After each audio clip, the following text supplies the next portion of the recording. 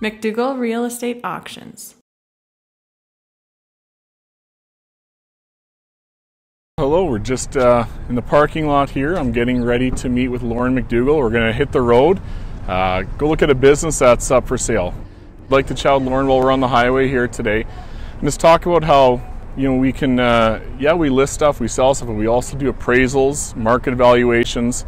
So in this situation, I'm going to be looking at the land, the house, the buildings that are all attached to this, and Loren's going to be giving them an appraisal on all the equipment inside the building. I guess I don't need to Here's our coffee. Road trip ready. So we're on the road here right now, and uh, what Loren and I are doing are traveling to a business that's up for sale. So with McDougall, we can actually offer you an appraisal or an assessed value on both the uh, the asset, uh, the assets inside the building, and the real estate outside.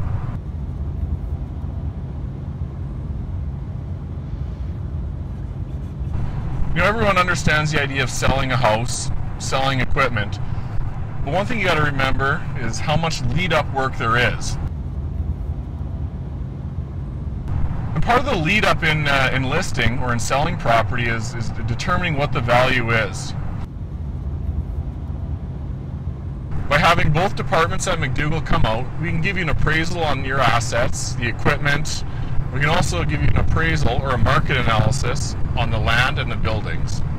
As a realtor, we do a CMA, a comparative market analysis, and that's how we determine value. We look at the market today, what is our competition?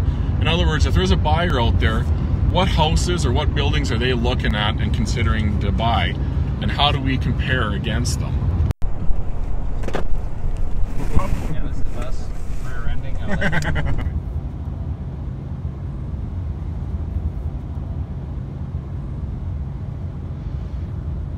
I enjoy coming out and meeting with the family well in advance of the time to list. From a tax standpoint, is this year the best year? Should we sell some of the assets now, maybe some of it after December 31st? So sooner we can be involved and provide an appraisal, provide market evaluations, the better.